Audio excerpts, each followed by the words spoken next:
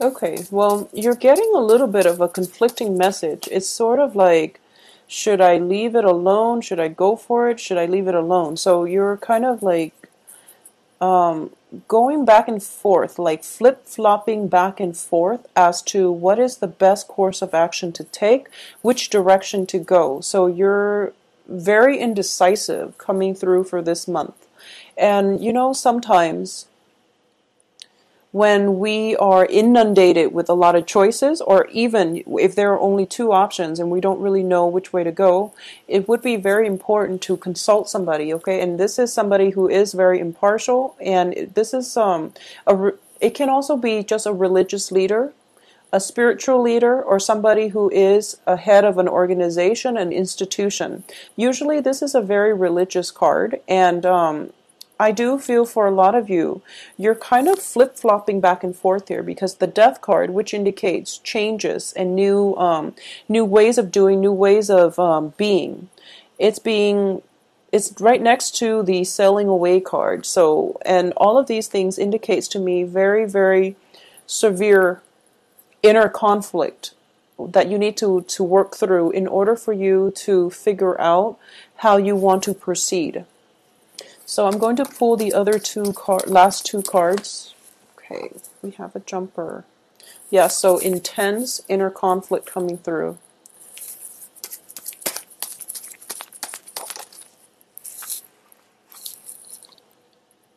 Okay, so I, I feel that um, I understand. It's interesting. Um, Capricorn got the same card in the same position. So for a lot of you, you might be dealing with a Capricorn, or let's just go through this here. All right. So, once again, at the heart of this reading is this very, very intense emotional uh, situation where you are conflicted about how you want to proceed, okay?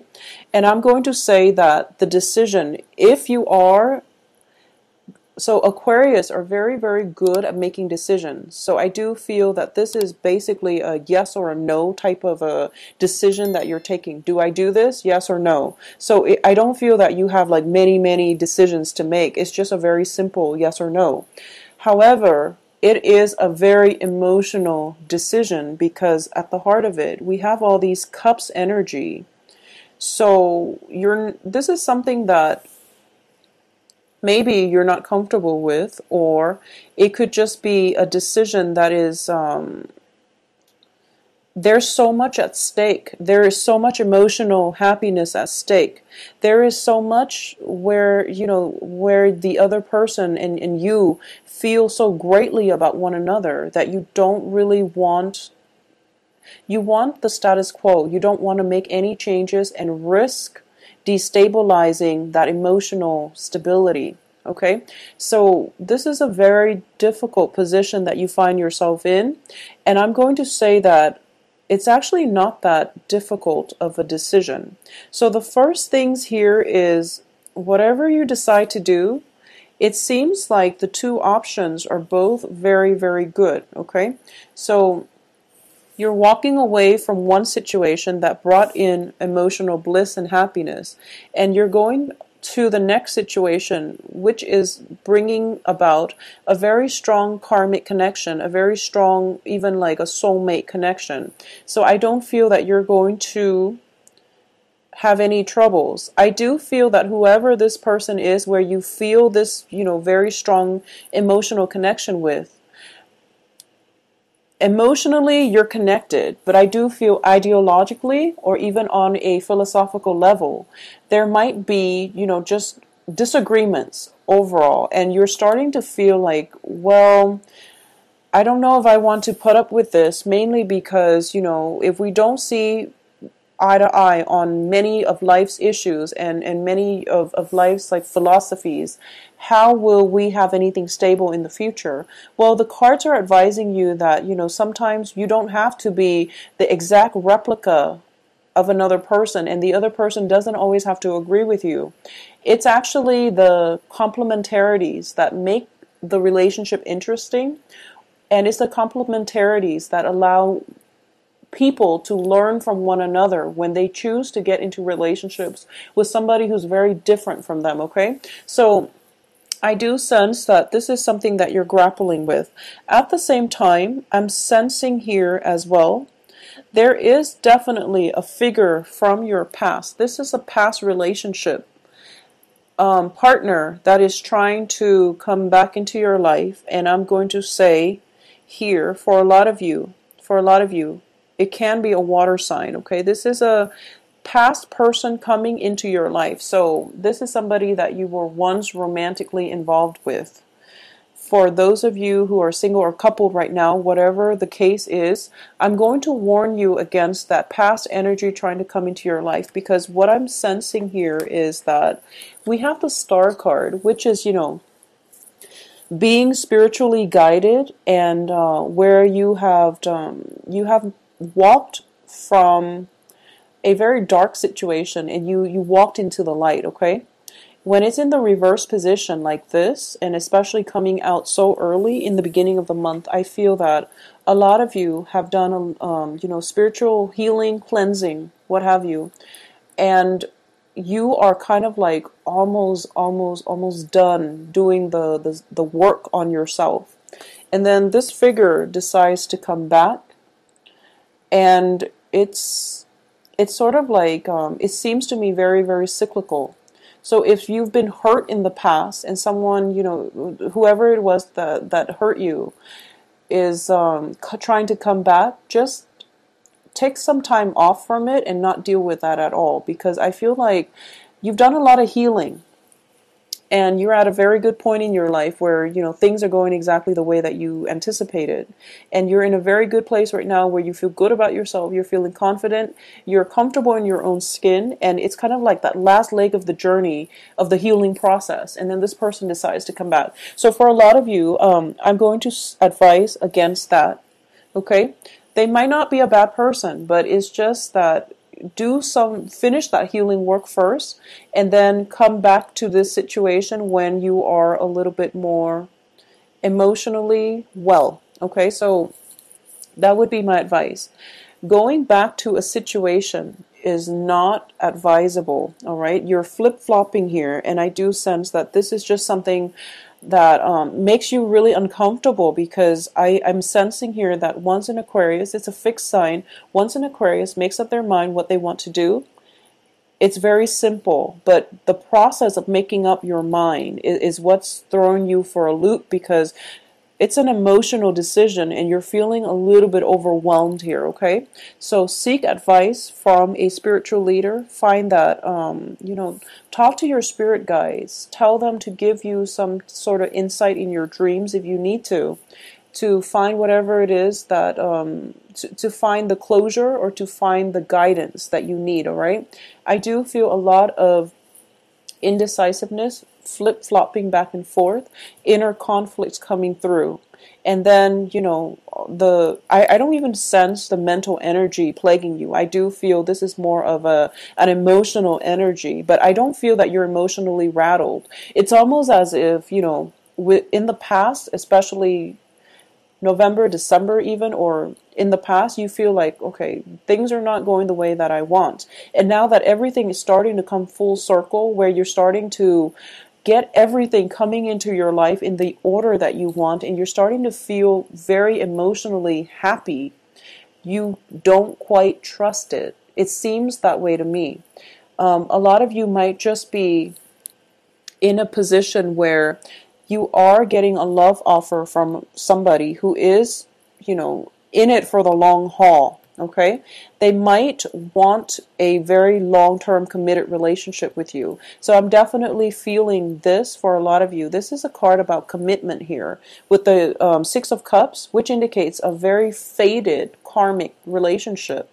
On top of the hierophant which indicates to me you know it is going to happen. So for a lot of you you might be thinking about marriage or you might get an offer of marriage. For for a lot of you I, I do sense that coming through where you have an opportunity here to decide. And once again that is not a light decision or it's not something that we can just decide on a whim okay? Really think about it. If that is something that you're grappling with then this makes perfect sense because like I said it is a very emotional emotional decision and it is not something that you want to make lightly. And you know, once again, um, I do feel that Aquarius are somewhat of commi- um, commitment phobes, so it might be that the whole freedom um, commitment syndrome coming through that you're you have to grapple with. Okay.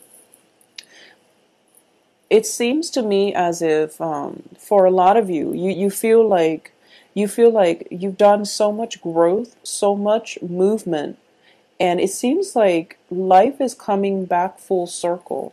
It's sort of like we we go off and we try to do things, and then we end up where we started, not in the spirit of um, not in in the spirit of you know all for nothing, but it, it's that you know you go off and you're hoping to find something in your life, and you feel like in the process of trying to find yourself or in the process to find what it is that you feel that you're missing it has been right in front of you the whole time.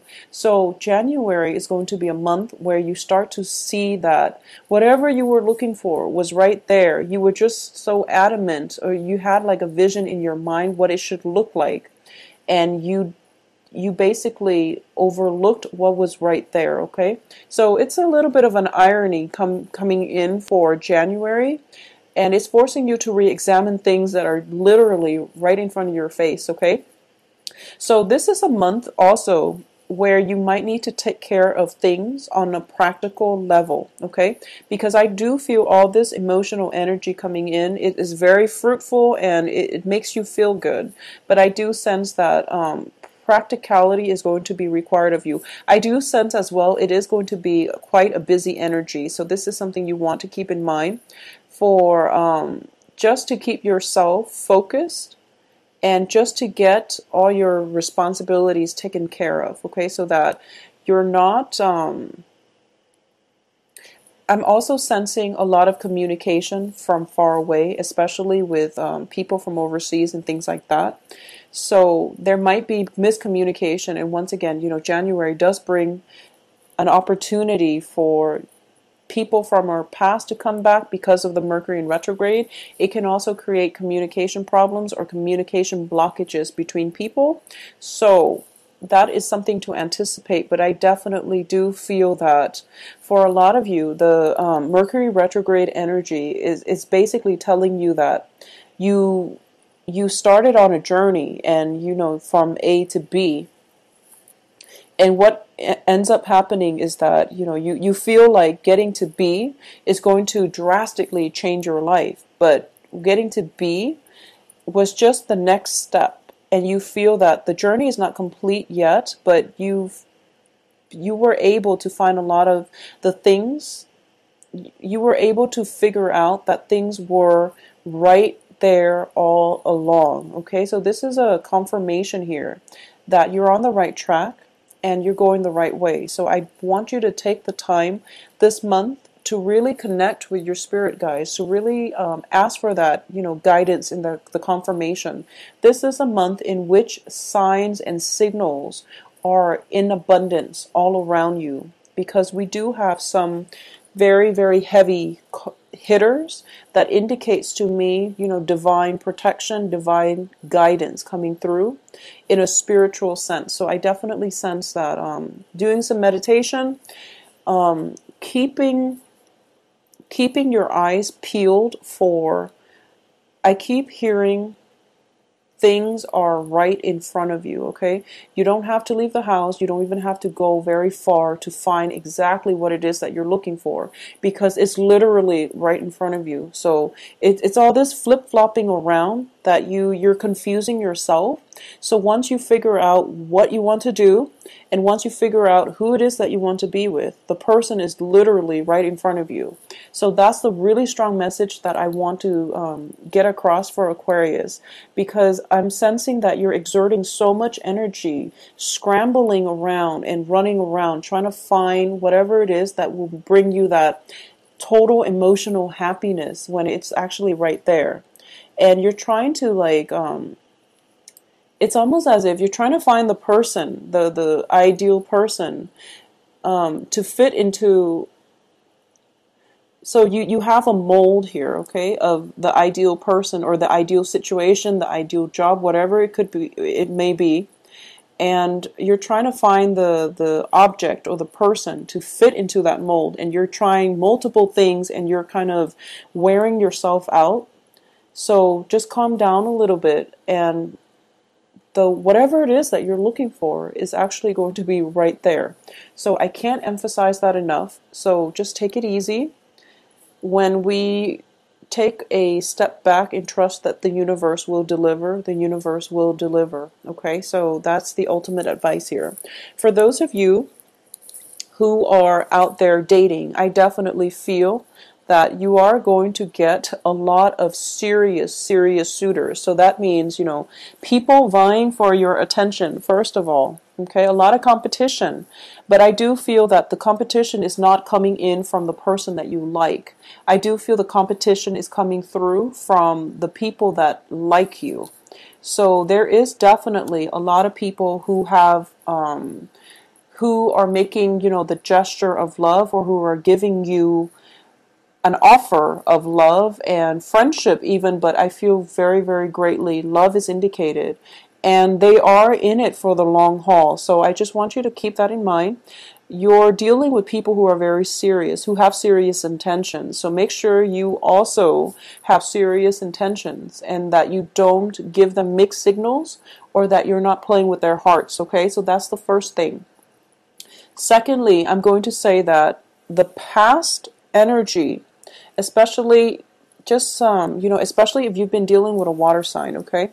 So Pisces, Cancer, Scorpio, if you've been dealing with a water sign who is trying to come back, you really I feel that this person is very adamant about getting you to to hear what they have to say or getting you back into their life or promising or even fa- painting a very idealistic blissful image just to get you to come back but i don't feel you're going to fall for it.